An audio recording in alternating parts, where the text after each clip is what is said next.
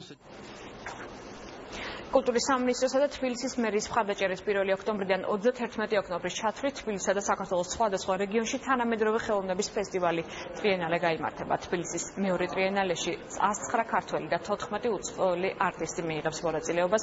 ერთი თვის განმავლობაში დაგეგმილია თანამედროვე ხელოვნების ნიმუშების გამოფენები 8 საგამოფენო და სხვადასხვა საზოგადოებრივ სივრცეში. წლევანდელი ტრიენალის მთავარი თემა თვითორგანიზებადი სისტემებია. დაგეგმილ ღონისძიებებთან დაკავშირებით ფესტივალის ორგანიზატორებმა კულტურის სამინისტროში გამართულ ბრიფინგზე ისაუბრეს.